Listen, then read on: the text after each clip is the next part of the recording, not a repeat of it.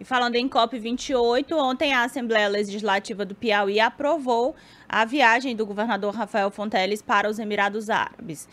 Desculpa, Emirados Árabes. Ele foi convidado, Rafael, pelo presidente da República, Luiz Inácio Lula da Silva, para acompanhá-lo durante a 28ª Conferência das Nações Unidas sobre a Mudança do Clima, que é promovida pela Organização das Nações Unidas e vai debater os impactos das mudanças climáticas em todo o mundo. O presidente Lula passará pela, pela Arábia Saudita, pelo Catar, Emirados Árabes Unidos e também a Alemanha.